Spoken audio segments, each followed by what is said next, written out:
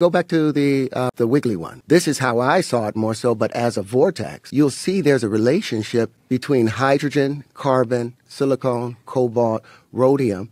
They're all bonded. They're all sit as a middle point between two noble gases. That implies that there are multiple periodic tables. But is that the case?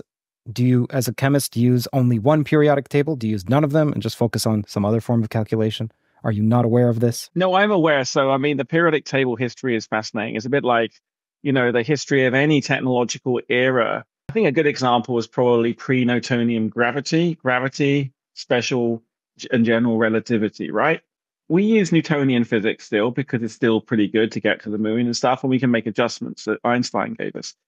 The periodic tables that he refers to aren't in any way I can't, I, and I don't want to be rude or I don't want to be disparaging because it's cool. We talk about they're not in any way in use today.